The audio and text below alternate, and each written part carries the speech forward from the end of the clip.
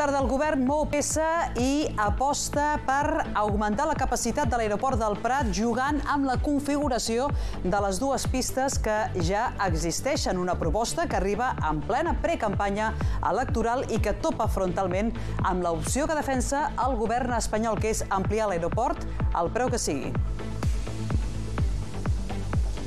Una proposta que ha agafat per sorpresa els veïns i a les entitats d'aquesta zona del Baix Llobregat que consideren que la Generalitat no ha pensat en ells. Aquesta proposta augmentaria els avions de 79 a 90 i els veïns es queixen que això posaria encara més en risc la seva salut. De seguida escoltarem les reaccions que ha generat aquesta proposta sorpresa del govern català i també, lògicament, obrirem la nostra via. I ho farem, a més, amb molt d'amor, perquè aquest serà el tema del programa d'avui l'amor, perquè què es pot arribar a fer per amor? És un sentiment, o una de les emocions més primàries i també de les que més mal de caps pot arribar a donar. Hi ha amors per tota la vida, hi ha amors fugassos, hi ha amors platònics, hi ha també molts desamors. Això és el que farem avui al Via 15, buscar històries d'amor. L'amor és un sentiment molt potent i n'hi ha de totes formes, però no és exclusiu dels éssers humans. De fet, els animals amb els que convivim ens mostren afecte i nosaltres els estimem a ells. Avui us ensenyarem una història d'amor als animals. A Granollers hi tenim Jordi Ribó, un fotògraf que ha pogut retratar més de 1.000 casaments. I qui millor que ell perquè ens expliqui què és l'amor. Des de Sabadell us explicarem una història d'amor per tota la vida, la història de l'Aurora i en Jesús, una parella que fa 62 anys que s'estimen i 56 que estan casats.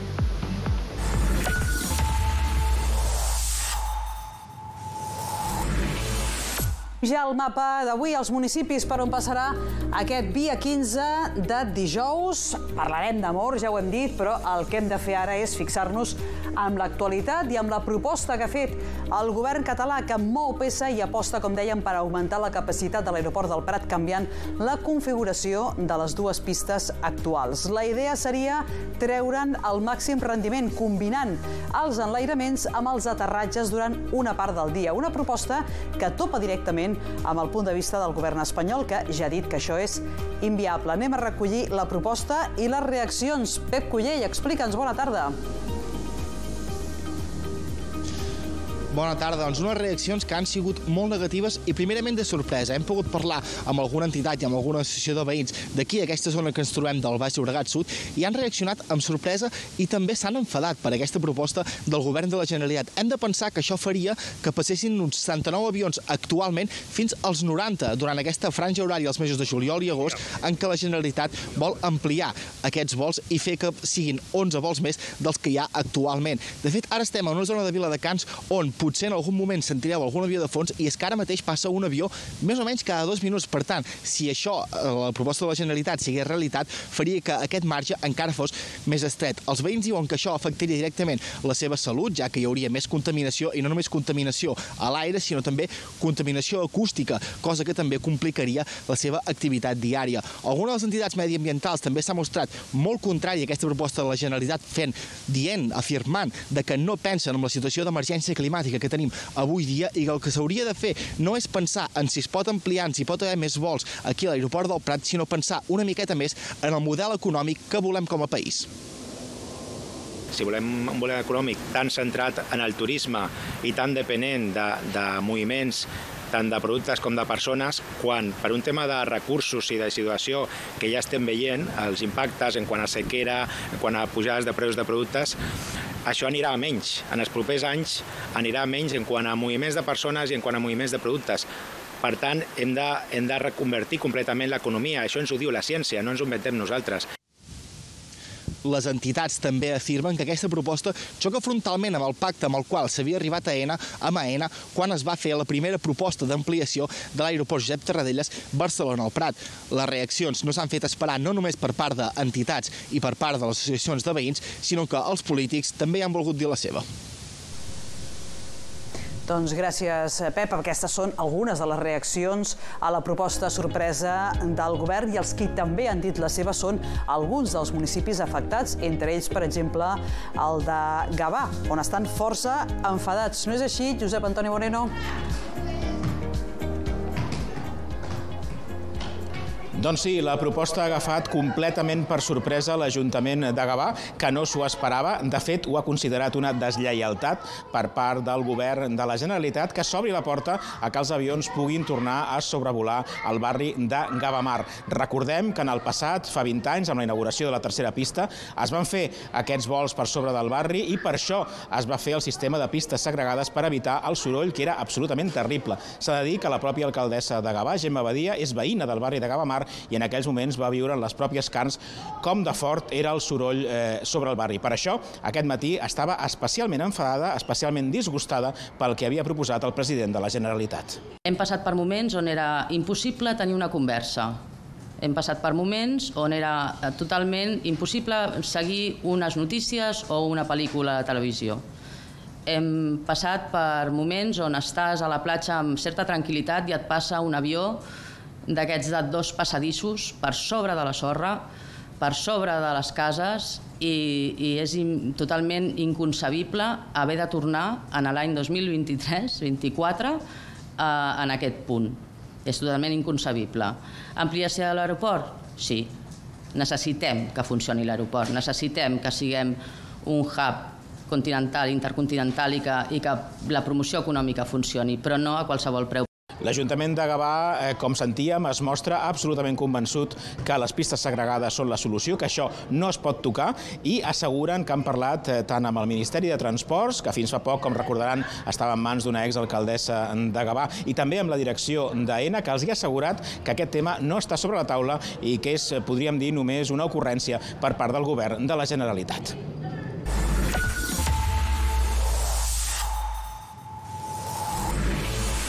I ara ja obrim la via d'avui, que com us dèiem la dedicarem a l'amor i la farem amb molt d'amor. I cada dia fem el programa amb amor i carinyo, però avui una mica més, especialment. I automàticament sempre es ve al cap doncs, la figura de la parella, i no sempre és així. De fet, els enamorats són la imatge més icònica de l'amor, però aquest sentiment tan fort i tan complex va molt més enllà d'una relació amb una altra persona. Es poden estimar amics, familiars, companys de feina i fins i tot famosos amors platònics, que en realitat són absolutament desconeguts. Però què passa amb els animals? Doncs aquesta pregunta li traslladem a la Laura Àrias. Laura, què tal? Molt bona tarda. A veure, també es poden estimar els animals com estimem les persones?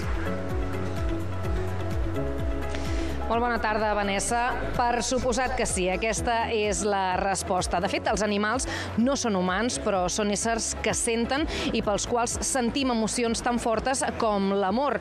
Quan convivim amb un animal, un gos o un gat, per exemple, doncs eh, són un membre més de la família, cadascun amb el seu caràcter, amb les seves pors, amb les seves manies. Són individus únics que, bàsicament, conviuen amb nosaltres i que són especials per a nosaltres.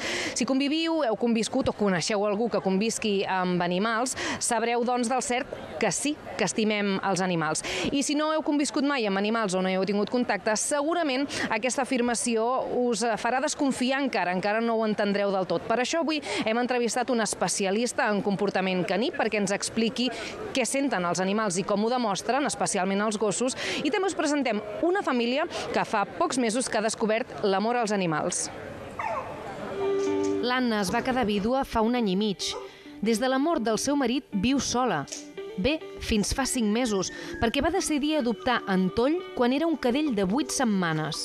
Aquest gos m'està donant unes alegries i unes felicitats i una companyia que, que bueno, estic encantada amb ell. He canviat, ha canviat absolutament la meva, el meu estat. Ara parlo de, de no parlar amb ningú a moltes hores, ara tota l'estona estic parlant amb ell, estic tot el, tot el dia fora amb ell. Estava tancada a casa i de, i de cop he sortit molt. Passejant, donant voltes, jugant. Uh, la meva filla diu que m'ha canviat el caràcter i que ara estic molt més contenta i molt més, molt més, inclús molt més sociable. En Toll no només li ha alegrat la vida i li fa companyia. Què, carinyo? Què? Estàs aquí? L'Anna, com totes les persones que tenen un gos com a membre de la família, reconeix sense embuts el que sent per ell. Papo, sí que és amor. sí que és amor, sense cap dubte. Me, me l'estimo, me l'estimo moltíssim. És un gos, no és una persona, però me l'estimo moltíssim, és amor, i tant que sí. I el defineixo com aquella sensació de poder donar i de poder cuidar i després també que et cuidin una miqueta, que estiguin pendents de tu. Antoll no només està atent a l'Anna, sinó que podríem dir que li correspon. Si ens atenim a la ciència, potser no podem anomenar-ho amor, tal com l'entenem els humans, però sí afecte. S'ha vist que hi ha un vincle, que els gossos prefereixen estar amb les persones que els cuiden, que eh, fan mostres d'afecte, que comunicativament mostren aquest vincle, però no podríem parlar d'amor. Ara, jo des del meu punt de vista estic superconvençuda de que, de que sí que ens estimen, perquè és que al final es nota, no és algo que val, científicament potser no es pot explicar, però tu notes amb la relació que tens amb el teu gos. Els gossos demostren aquest vincle emocional buscant el contacte físic el contacte visual, demanant joc i, en molts casos, amb les llepades que es podrien comparar amb els petons humans. Toma, besito. Això és mostres d'afecte, 100%. Si això no és amor... us he de dir que no només els gossos i els gats poden fer vincles emocionals i familiars forts, sinó que els mamífers i les aus, de fet, s'enamoren, entenent l'enamorament com un procés bioquímic. De fet, fan vincles únics que en alguns casos fins i tot poden arribar a durar tota la vida. Doncs és un amor absolutament pur. Així hem obert la via avui. Gràcies, que vagi molt bé, Laura. Fins demà. I qui millor per parlar d'amor? Ara ja parlem de l'amor entre humans, que algú que ha fotografiat, atenció, més de 1.200 casaments al llarg de la seva vida professional. Això vol dir que n'ha vist de tots colors. Una història que ens arriba des de Granollers. Anem fins allà i aprofitem també per eh, saludar una nova incorporació al Via 15. Pere Juventí Balcells, què tal? Molt bona tarda. Explica'ns aquesta història. Doncs bona tarda, Vanessa. Estem just davant del seu estudi fotogràfic, de l'estudi fotogràfic d'en Jordi Ribó, que com, veu, com bé dèieu, ha pogut retratar a més de mil casaments. Per tant, a aquests moments tan especials dels enamorats, un dels dies on l'amor és més important. Ribó ha estat sempre molt a prop dels enamorats en un dia tan especial com els casaments. I perquè us feu una idea, atenció, Ribó diu que en aquests anys, des dels anys 80, és com si hagués anat a un casament durant 4 anys cada cada dia. Tinc la connexió amb l'amor des de sempre, perquè la meva feina és, com a fotògraf és seduir la gent. Però, a més a més, el casament és una part molt important on hi ha molt d'amor. No? Per tant, eh, porto més de 1.200 casaments fets des de l'any 88 i, per tant, he viscut molt l'amor en primera persona en dies molt emocionants. I és que la figura del fotògraf al dia del casament es diu com si fos un mestre de cerimònies. Ha de calmar els protagonistes, treure el seu cantó més juganer, el seu cantó més màgic i que els enamorats estiguin aquell dia tan feliç, doncs millor a la càmera. Per aquest motiu, diu, l'actitud i l'aptitud del fotògraf és molt important. Evidentment, eh, has de ser una mica provocador, que la gent, per exemple, quan fas les fotos de la parella, doncs que, que s'uneixin una mica, no? Has de provocar el, el que s'agafin de la mà, el que caminin, que, que s'abracin, i després adaptar-te molt bé al tipus d'amor que té cada parella. El fotògraf de Granollers ens ha explicat que ha pogut retratar molt, molts tipus d'amors al llarg de tots aquests anys, juganers, més tímids, alguns que són més passionals, però que tots tenen un denominador comú i és que s'estimen.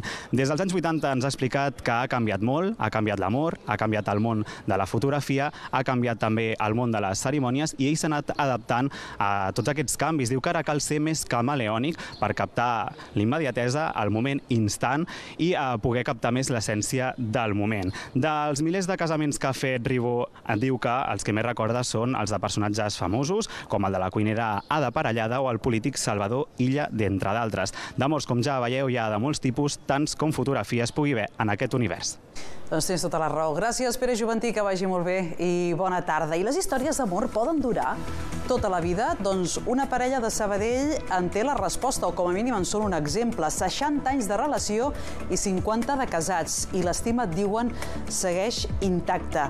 Quin és el secret? Doncs això ens ho explica des de Sabadell mateix el Guillem Perramon. Guillem, què tal? Molt bona tarda, tu diràs.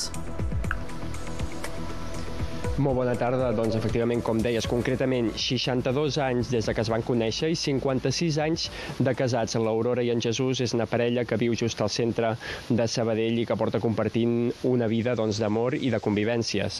Quan l'Aurora tenia 15 anys, a l'any 1962, tornava de París, de, després d'un any doncs, d'estudiar, doncs, i bàsicament pel carrer doncs, es va trobar amb el Jesús i allà va néixer una relació que duraria doncs, fins al dia d'avui.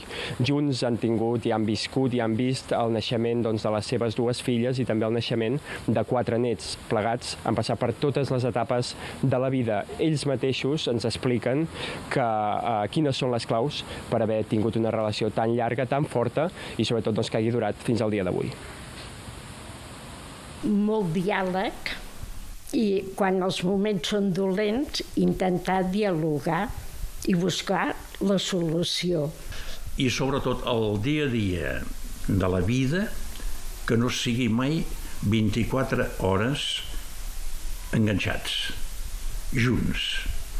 Ella ha de tindre les seves amistats, ha de tindre els seus neguits, ha de tindre les seves aficions, jo haig de tindre les meves.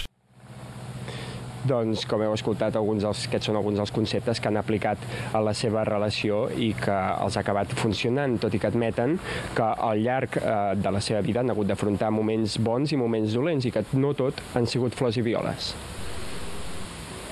Si hem tingut coses dolentes, hem sigut una pinya i també ens hem ajudat. Jo crec que en general hem tingut una bona vida, dic jo, eh? Amb molts problemes, eh? De salut, de tot. Sobretot salut. Sobretot Però salut. ho hem superat, vull dir, ho superem, vaja. Tot i aquest compromís que han mantingut tots aquests anys, també afirmaven que si en el seu moment, al començament, haguessin tingut problemes o com a relació no haguessin funcionat, no haguessin tingut cap problema doncs, en tallar la relació, però per sort això no ha sigut així i plegats ja s'apropen a la vuitantena d'anys eh, com a parella. Uh, per sort, doncs, això, així doncs, conserven uh, aquesta relació i guarden aquests records que han anat vivint al llarg de tota la seva vida en fotografies i en àlbums que recopilen a casa seva, que és una afició que segueix en Jesús uh, dia a dia. Uh, els dos, així doncs, conserven tots aquests records per recordar que tota aquesta vida d'amor i d'il·lusions. És una història ben bonica, la que ens expliques avui des de Sabatell. Gràcies, Guillem, que vagi bé i bona tarda. I un altre tipus d'amor és el que sent una mare cap al seu fill. I en el següent cas, doncs seria un bon exemple. Us parlem del Miquel, un veí de Martorell que pateix GM2, un trastorn genètic greu i degeneratiu i que afecta una persona per cada milió. Viu amb la seva mare, la Montserrat. Des que se li va diagnosticar a ell la malaltia, ella està per ell les 24 hores al dia i ha hagut de deixar de banda la feina i la vida personal, el que diríem un gest d'amor infinit. Miguel tiene la enfermedad GM2, que yo empecé a darme cuenta cuando él tenía pues 5 años. ¿vale? Empezó a bloquearse, él jugaba y se ponía con un coche y se quedaba parado. Miguel es un en especial porque es el único niño en toda España que tiene la enfermedad que él tiene con su edad. Él por la mañana hay que ducharlo, hay que arreglarlo, llevarlo al colegio y eso todo lo hago yo sola. Tienes que pedir socorro a la familia o a quien pueda ayudarte. En este caso, Miguel solamente se queda con su madre porque es una dependencia de, muy gorda. Es 100%, tienes que estar por él 100%. Miguel está con su madre, pero mi tía no vive. Claro, es normal, es su hijo. Decir, tengo 10 minutos para irme a tomar un café o tengo la ayuda de alguien en el aspecto de, que te puedes salir un momento de casa e irse a comprar tranquila. Mi tía no sabe lo que es irse a ver una película de cine sola, sin niño. O salir a tomarse un, hacer una cena y tomarse algo, aunque luego vuelvas a casa, ¿no? No lo sabe, no lo ha sabido nunca desde que se casó. Cuando se pone nervioso, pues intentar calmarlo, a él y a la madre, y el estar al lado, el decir, hay alguien. Si no estoy yo, pues que esté el hermano, mi tía, la otra, el, las nenas, el que sea, estar allí con él. Doncs és una història d'amor amb majúscules, com també ho és la de la Bego i el Xavi. A banda de construir un projecte de vida junts, ella li ha regalat com a mínim 14 anys de vida a ell gràcies a que en el seu moment li va donar un ronyó l'any 2010. Una tendència, la de la donació en vida, que va a l'alça. Durant el 2023, 187 persones vives van donar un ronyó, la xifra més alta de la història.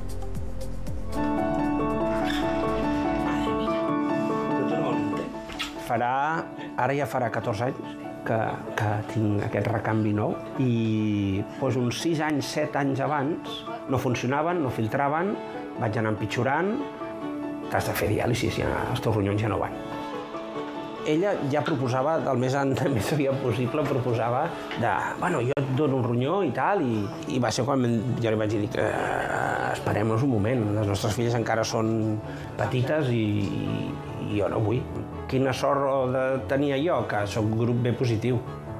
I aleshores aquí a Espanya hi ha molta menys gent de B positiu. No? I clar, tu esperes que, per desgràcia, algú es mori perquè tu rebis un ronyó. I durant aquests però no és una sort, és una dissort, perquè sí. no t'arribava. Bueno, clar, jo pendent del telèfon tot el dia de si trucaven i, clar, no sonava mai. La diàlisi va molt bé, eh, et manté viu, però té efectes secundaris. En el seu cas, tenia uns efectes que no podia descansar. Vaig, arribava a dormir amb les cames lligades amb un cinturón perquè tenia lo de les cames intranquil·les i saltava i em retorçava al llit i no hi havia manera de dormir-se.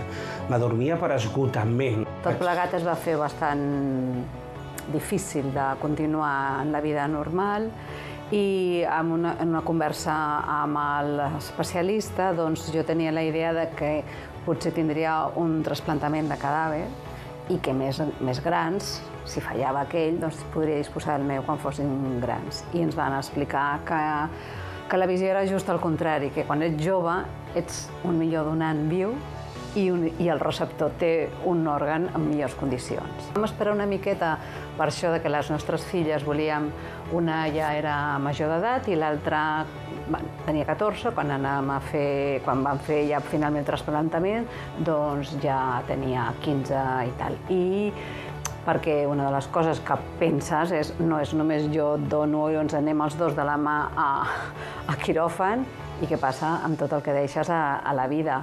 El que no volíem era deixar nenes massa petites, de fet les, ho vam viure preparant-les per tot el que pogués venir. Aquí a la família, quan va passar això, la meva germana... Sí, van fer proves uh, si no eh, podia La meva mare inclús ho va dir-ho. Sí, uh, això passa sempre, els pares, sí, tots, tots van a la carrera. Els dir... meus pares, la meva àvia, que era viva, li volia donar, imagina't. Som un nucli d'amor, no som nosaltres dos, som nosaltres i el que arrosseguem, el que venia abans que nosaltres, els familiars, els nostre, les nostres filles, la nostra gossa en aquell mm. moment, tot era en un nucli i, i tot donava sí, tot era sí en positiu. Recordo haver parlat i dir, mira, nosaltres ens podem divorciar després, o sigui, és, és, eh, hem crescut junts, hem fet vida, hem fet família, tant se val si continuem com a parella o no. Som parella de vida, perquè són molts anys que portem des dels 24 anys. Jo li diria que la persona que pot ser donant eh, tant sigui parella com família, que pensi el bé que fa a altres persones. Hòstia, a mi m'ha regalat 14 anys de vida. Donar és un dol que te l'has de viure i l'has d'entendre en el cicle vital. I ara sembla molt místic el que estic dient, però és molt real. És en el món del sentiment, en el món purament físic, en el món del teu rendiment. Llavors, jo no em medico, però em cuido. I hi ha tota una sèrie de decisions i compromisos que he pres amb mi mateixa, he, he triat el, algunes opcions de vida d'acord amb la meva realitat que voluntàriament vaig canviar, que és ara no tinc dos ronyons, ara tinc un i per tant jo consto com a malalta renal. Llavors, si perds un ronyó, no és una broma. És un regal, però és una pèrdua té una dimensió molt enorme, molt enriquidora, perquè la vida se n'aprèn moltes vegades més del que no va bé que del que, del que va bé, però, però implica moltes coses i per això deia que no és només la decisió de la parella, sinó la decisió de la família i en el procés de la malaltia es va afectant tota la família i quan recupera, es recupera també tota la família, no només la persona.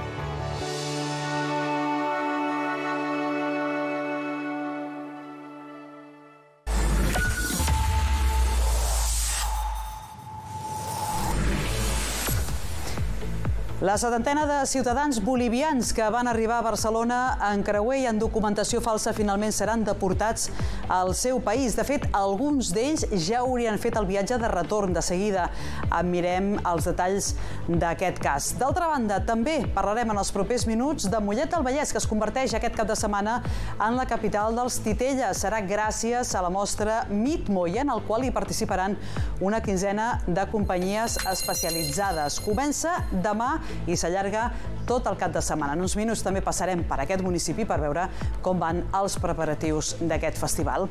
I aquest mes d'abril fa 20 anys de la posada en marxa del tramvia metropolità i en dues dècades ha registrat prop de 460 milions de viatgers. Durant aquests anys, el tram, tant el que circula pel Besòs com la branca del Baix Llobregat, ha anat fent canvis fins a convertir-se en l'opció de mobilitat preferida de molts ciutadans. Anem fins a l'Hospitalet amb la Laia Pérez. Laia, què tal? Molt bona tarda. A veure, quina és la clau de l'èxit? Doncs, Vanessa, la clau de l'èxit són diversos factors, realment, però principalment la freqüència i la diversitat de cobertures de, que té la ruta dels trams. Però és que, a més, la, segons les dades de l'Institut Metropoli, la valoració dels usuaris és d'un 7,8% sobre 10. De moment, és el transport públic de Barcelona millor valorat de tots els que tenim.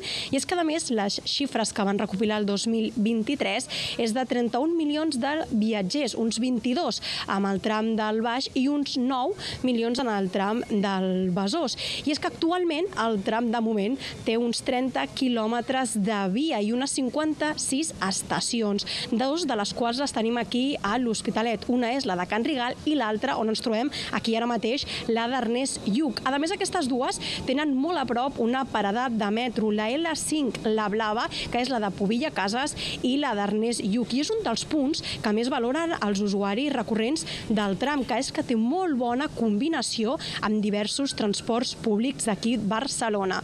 Però hem descobert que no només té aquest punt positiu, sinó que en té diversos. Les vegades puntuals que l'utilitzo doncs, va bé perquè està ben connectat. Sí, jo l'agafo cada dia i la veritat que arriba molt puntual a la universitat i no sé, mai m'he trobat cap, cap problema. Voy a trabajar y me va muy bien, el servicio muy bien, sí, sí.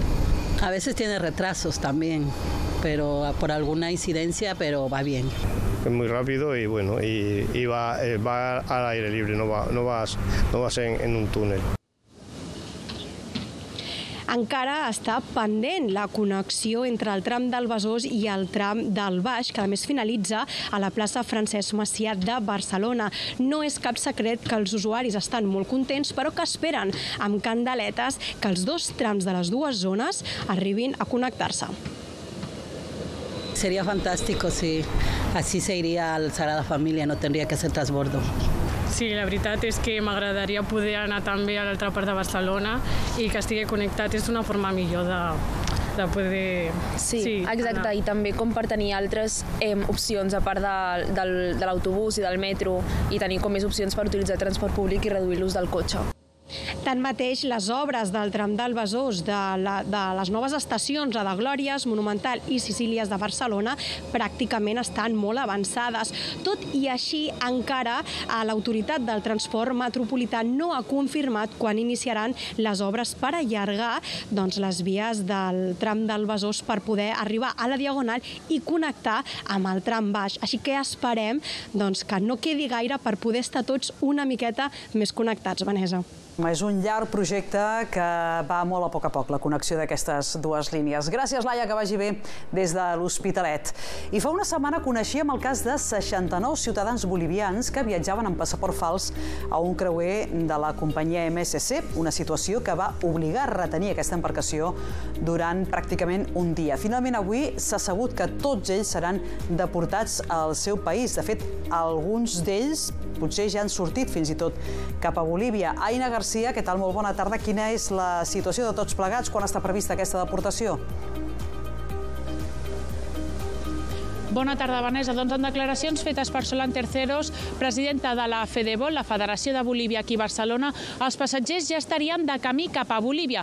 Segons ha explicat la presidenta, els passatgers haurien estat traslladats cap a l'aeroport del Prat cap a les dues de la tarda en tres autobusos custodiats per als agents de seguretat i finalment el vol s'hauria enlairat cap a les 4 de la tarda. Segons informen alguns mitjans, també els vols estarien pagats per la companyia MSC.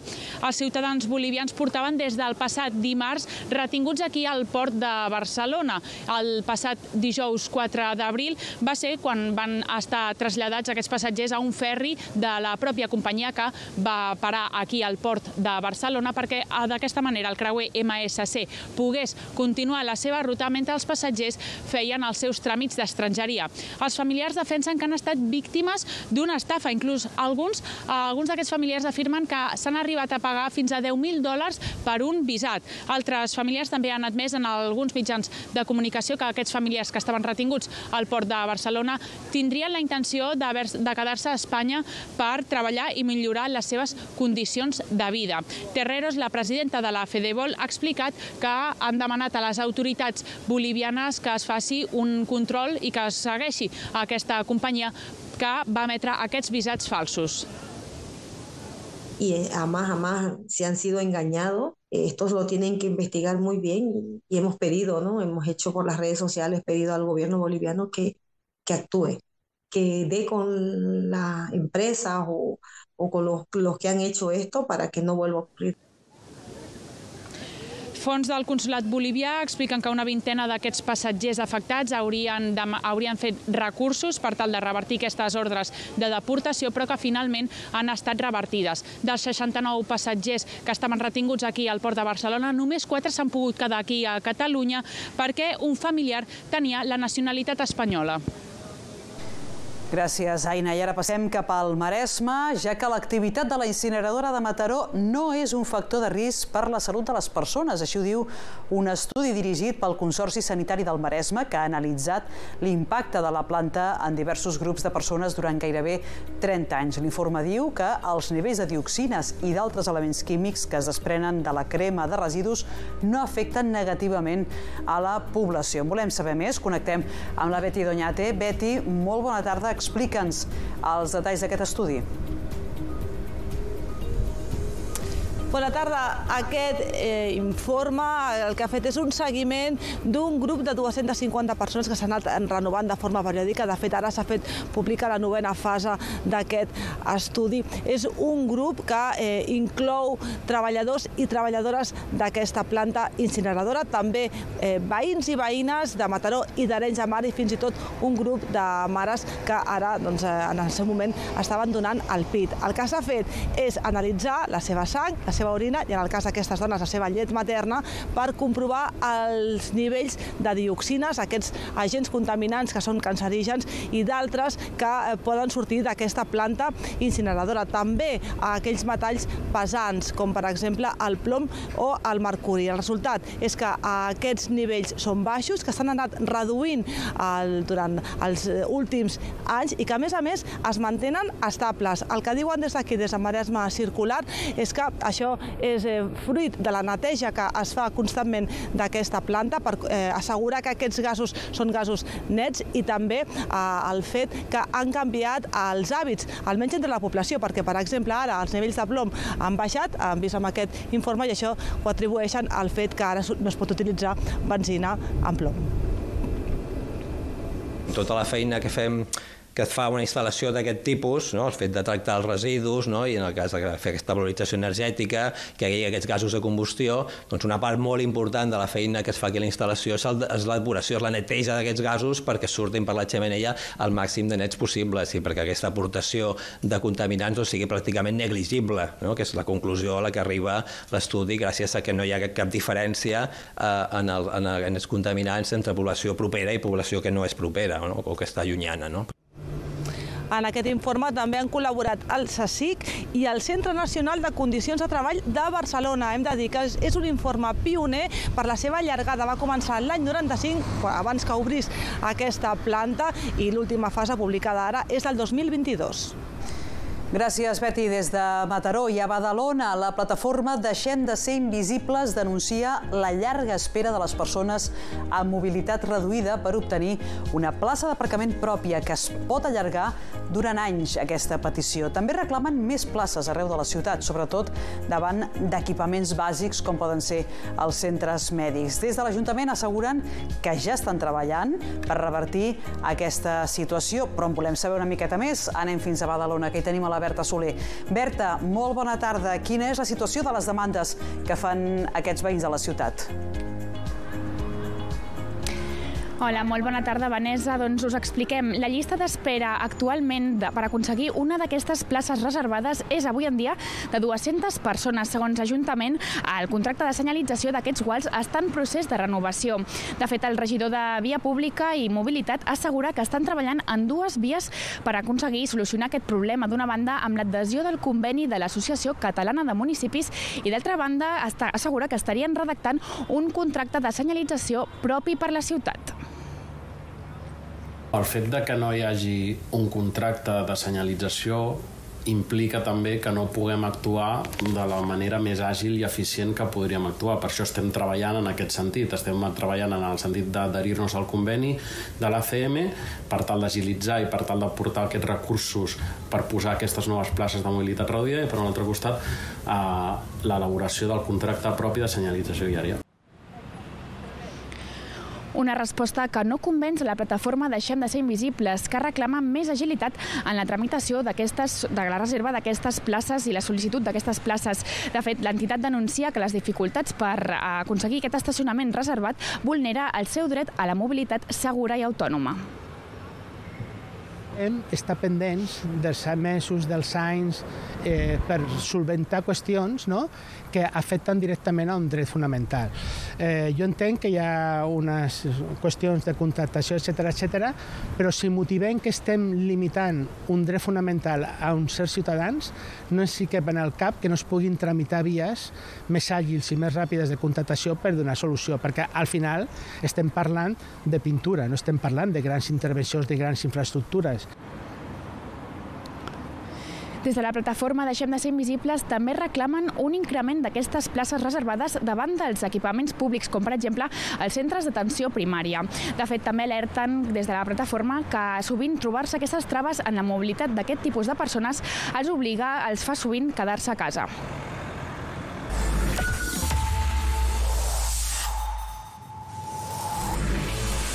Fa 100 anys obria portes al Museu de Rubí, un dels primers de temàtica local de Catalunya, però el 1982 va tancar portes per unes goteres i mai més ha tornat a obrir. Coincidint amb el centenari, el veïnat de Rubí ha fet un manifest per demanar que es torni a obrir aquest equipament. Enric Ventura, què tal? Molt bona tarda. Serà una missió complicada, gairebé impossible? Doncs això, a veure què ens responen ara, però per començar, el, primer escull és eh, tenir un edifici on situar aquest museu, perquè aquestes goteres que comentaves, al final aquell edifici es va acabar enderrocant el 1989 i, per tant, doncs ara les col·leccions estan repartides entre diferents magatzems, però mm, se n'hauria de buscar una nova ubicació. Jordi Vilalta, bona tarda. Hola, bona tarda. On el posaríem, aquest museu? La, la idea és un edifici nou, aprofitar un equipament existent, mm, tant i fa mentre tinguem un lloc. Quin és el vostre posicionament? Bé, eh, la idea bàsica seria buscar algun edifici, bueno, el, millor de tot seria un edifici de nova planta, però és clar, això necessita una inversió bastant potent de diners i aquesta inversió només la pot fer una administració pública com pot ser l'Ajuntament en aquest cas, no? Perquè clar, una cosa és la Fundació Museu Biblioteca de Rubí que té la titularitat de les peces, però en canvi, clar, la, les fonts de finançament són de l'administració. La Fundació no té diners, té les peces però no té els diners. Llavors, esclar, es tracta de que les dues eh, institucions, tant la pública com la privada, es arribin a un acord per solucionar el problema aquest.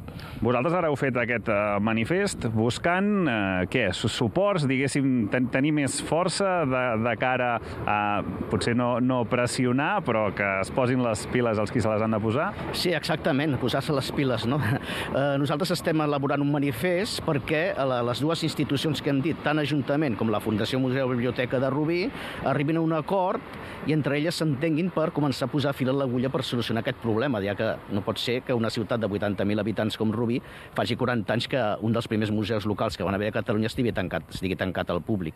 Per tant, és només un manifest no en contra de ningú, sinó eh, perquè les institucions pues, eh, s'animin i comencin a dialogar i aviam si es pot solucionar. Clar, ara hi ha un museu municipal, que és aquí al, al castell de Rubí, on ens trobem ara, però hem d'entendre que no és exactament el mateix. No, aquest museu municipal, aviam, va haver un projecte que, que es va fer als anys 90, precisament jo vaig intervenir en, en la redacció del projecte, es va inaugurar crec que l'any 1996, si no recordo malament, però és clar, és una solució que en, en el seu moment ja es va dir que era una solució provisional. I a més a més és un museu eh, municipal que és petit per lo que és Rubí, és a dir, només hi ha dues sales dedicades a història de Rubí i després hi ha una sala també per fer exposicions temporals, però entenem que no soluciona el tema del Museu de Rubí de l'any 1924 en tots els seus fons, que estan repartits per diversos magatzems i que la gent pugui gaudir d'ells. És a dir, necessitem un equipament més gran. Més gran. En qualsevol cas, el centenari eh, el celebrem ara, encara que no tinguem un lloc físic sí. d'aquest museu, i teniu previstos actes per sí. celebrar-ho i per commemorar-ho. Ens pots avançar una mica què teniu preparat? Sí, sí. Bueno, el primer acte ja seria per Sant Jordi, que farem una parada de, de, de butlletins de l'Associació la, de del Centre d'Estudis i del grup de col·laboradors, i també uns llibres d'història, que va fer un historiador local, que en tenim bastants, i també eh, recollirem signatures. Després també cap al mes de maig ten tenim la, eh, una exposició sobre la història del museu, que la farem al vestíbul de la Biblioteca Mestre Martí Tauler.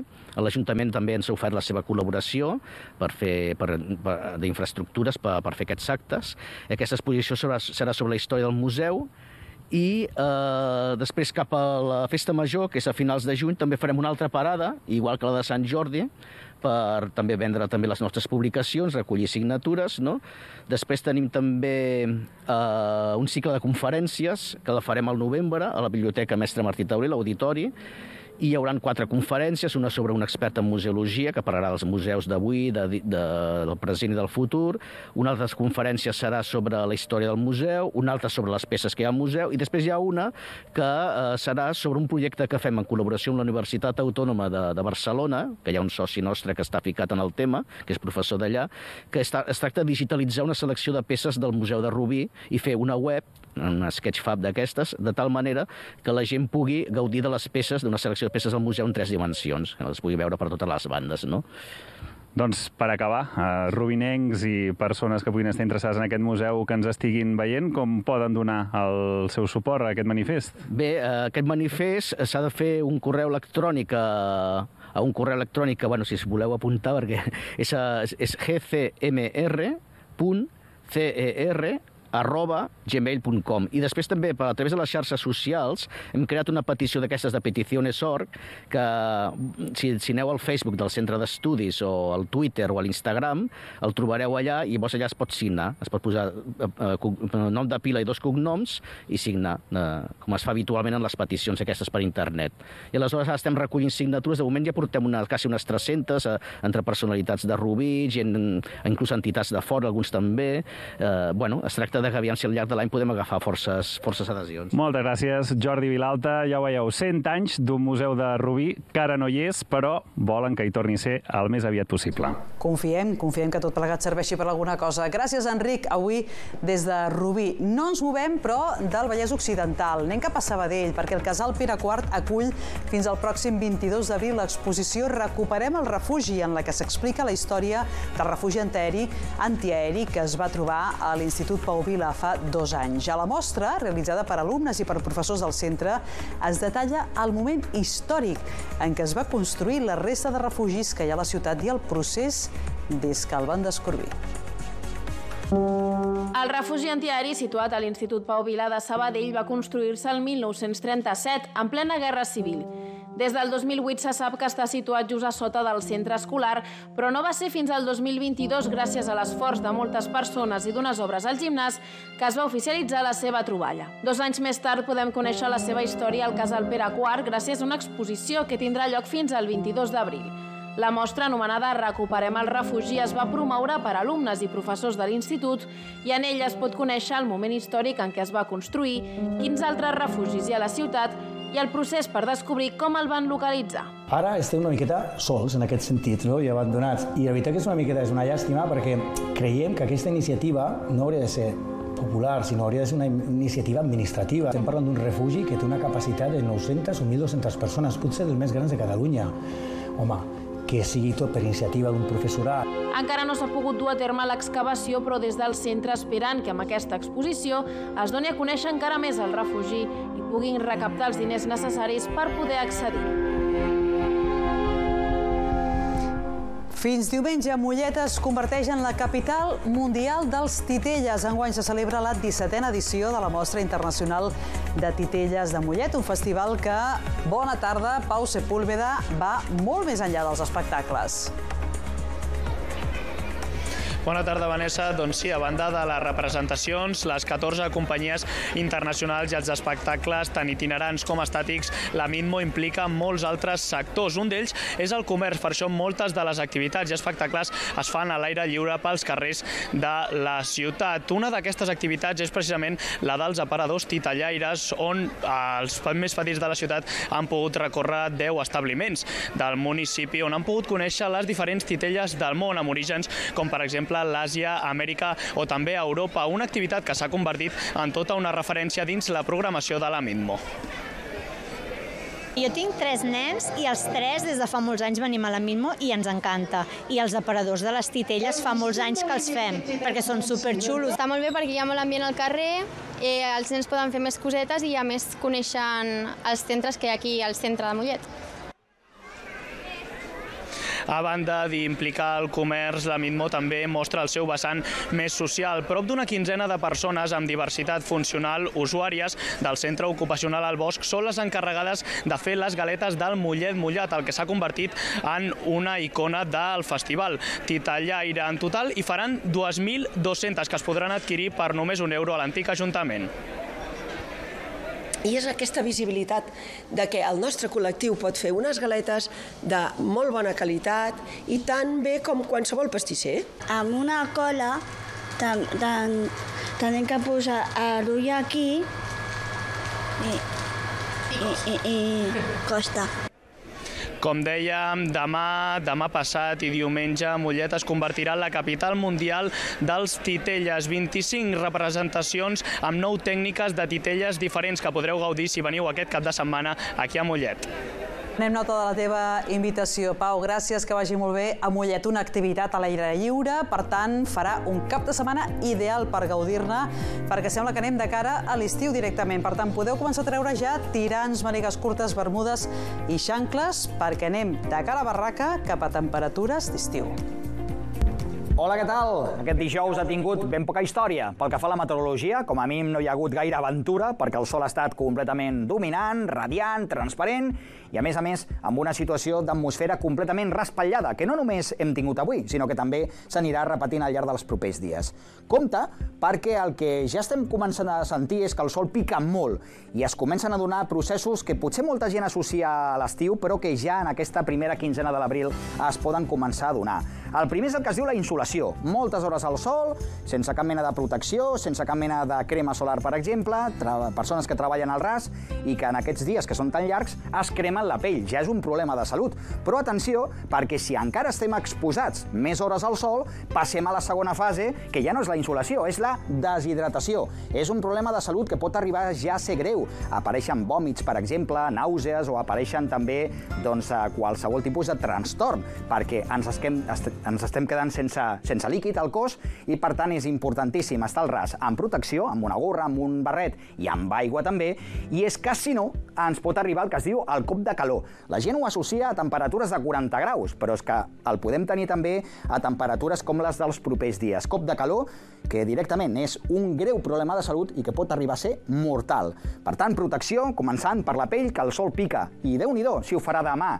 Un sol que serà completament dominant, mireu, a totes les comarques del país, també al nord de Castelló, cap a la banda del Matarranya, núvols que seran completament inofensius els que apareguin, que simplement seran alguns de prims que aniran pentinant el cel aquí i allà, aquelles filagarses o aquells aquelles, eh, aquells núvols que formen els avions en passar, que no són fumigacions, que ho hem dit més d'un cop, i també hem de destacar que demà farà ja poc vent, serà una jornada en la qual s'acaba el mestral, el vent de dalt, també s'acaba la tramuntana, si de cas una mica al matí de provençal i poca cosa més, i atenció perquè la temperatura puja.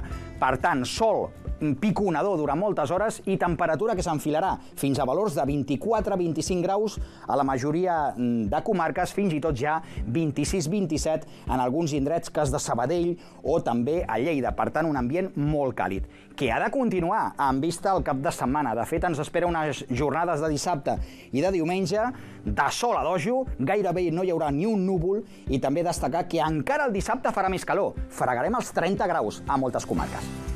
Que vagi bé.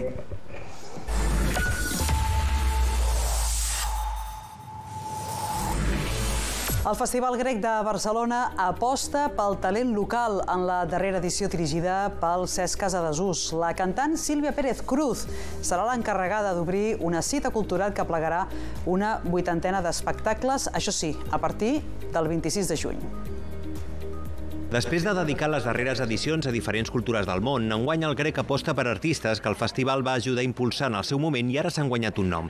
Així, l'Espai del Teatre Grec es reserva en exclusiva representants de l'escena barcelonina i catalana, com l'encarregada d'inaugurar-lo, Sílvia Pérez Cruz, o les companyies La Veronal, La Brutal o de Goll de Gom. Per mi aquest grec és un grec molt personal. És el grec en el que segurament m'he despullat més en el sentit d'artistes en els que crec. Aquí hi ha un talent enorme. Aquestes grades ara és un reflex del talent meravellós que té aquesta ciutat i tots aquests anys de treball programant, jo dic, no sé si sé dir què és el talent, però el sé detectar i m'agrada pensar que l'he pogut acompanyar durant aquest temps i que aquest talent de Barcelona al festival l'ha ajudat a créixer. Això no treu que també es compti amb grans noms del panorama internacional. En total es podran veure 35 espectacles teatrals, 15 de musicals, 14 de dansa, 5 de circ i 10 d'escena híbrida, a banda de dos cicles de cinema. Doncs això serà a partir del 26 de juny, com sempre després de Sant Joan comença el Festival Grec, però no ens movem de la ciutat de Barcelona i de fet ens quedem a l'actualitat perquè el Saló de Cent de l'Ajuntament ha acollit aquesta tarda l'acte de lliurament de la Medalla d'Or al Mèrit Civil que ha anat a parar per la FECAC, la Federació d'Entitats Culturals Andaluses de Catalunya. És un reconeixement a la tasca que ha fet aquesta entitat en favor de la difusió de la cultura i també de les tradicions andaluses i amb motiu del 50è aniversari de la Fèria d'Abril de Catalunya. De fet, s'ha aprofitat l'acte per presentar el cartell de l'edició d'enguany de la fèria. I sentíem el Lluís Mí que ens deia que farà molta calor aquest cap de setmana, doncs potser podeu aprofitar per anar al cinema per estar fresquets. La cartellera es renova amb Sangre en los labios, un còctel de sexe i de violència protagonitzat per Kristen Stewart. També arriba la comèdia Menudes Piezas, una història d'escacs basada en fets reals i Dev Patel dirigeix i protagonitza Monkey Man.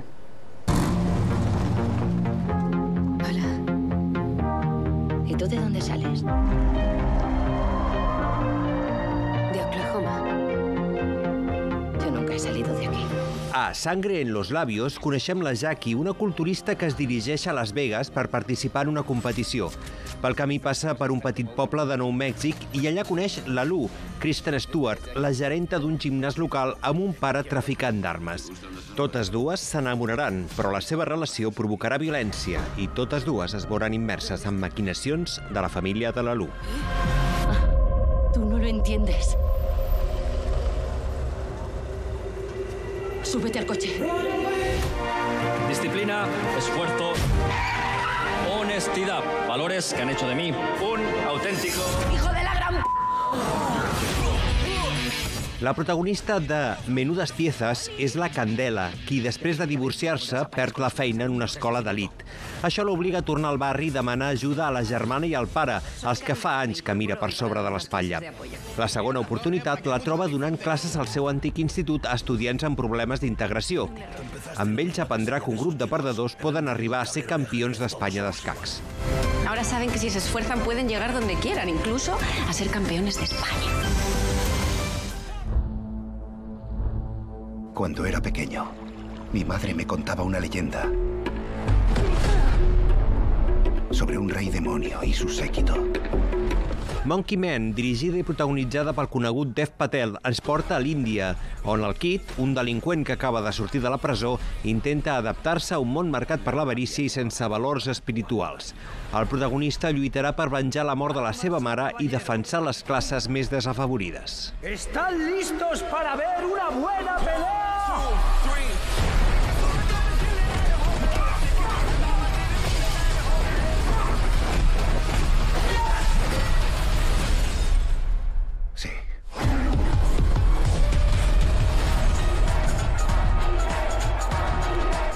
I com sempre acabem amb música el dia 15. Avui serà amb el grup Oques Grasses, que publica el seu sisè disc, Fruit del Deliri. L'àlbum inclou una dotzena de cançons i les col·laboracions de Figaflaues, Julieta, Julieta i Al·lèrgiques al Polen, un disc que presentaran en una gira per Catalunya i pel País Valencià a partir del 20 d'abril i culminarà el 13 de juliol al Festival Cruïlla de Barcelona. Amb els Oques Grasses us deixem nosaltres. Tornem demà. Que vagi bé.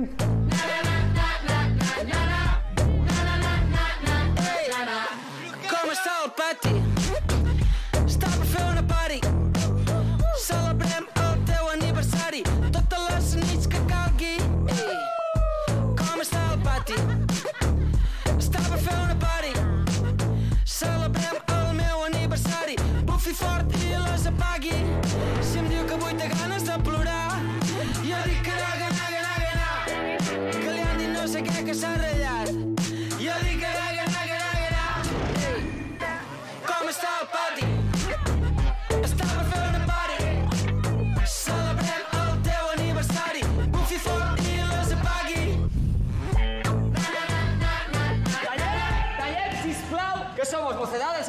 aquí o qué? ¿Estem empanats?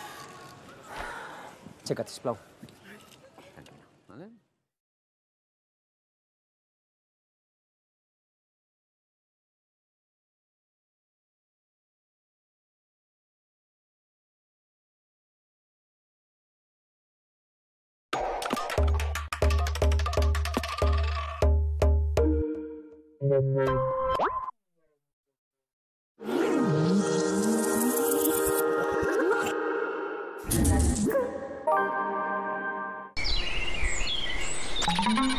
Thank you.